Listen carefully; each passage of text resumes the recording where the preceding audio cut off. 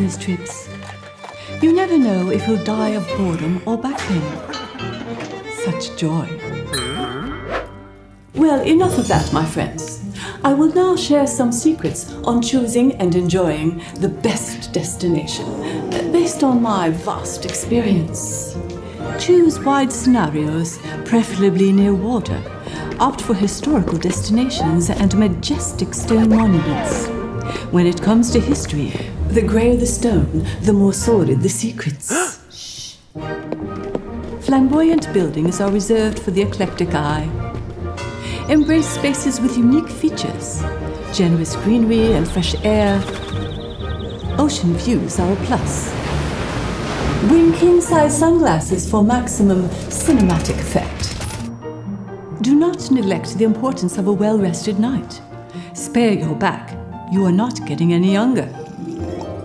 Enjoy opulent festivities and relish on local delicacies. Social media is a thing nowadays. Dreadful.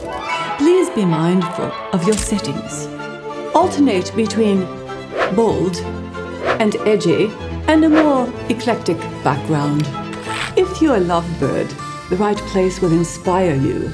Be prepared for the event of paint me like one of your Portuguese girls. If you're already a part of a happy household, indulge in moments of complacency. Ooh, hello.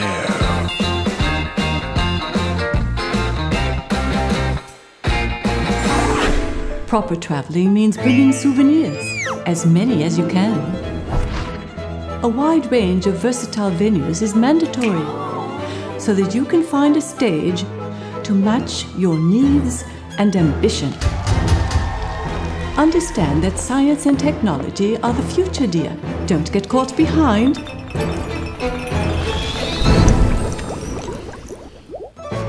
Don't forget to make time for window shopping. Life is short. Buy the shoes. Top notch, by the way. About nutrition. Francesinha. Mind your figure and opt for frugal meals if you can. Now that you know what I know, and now that we both know where your next business trip will be, bear in mind two more things. Port wine is not a shot.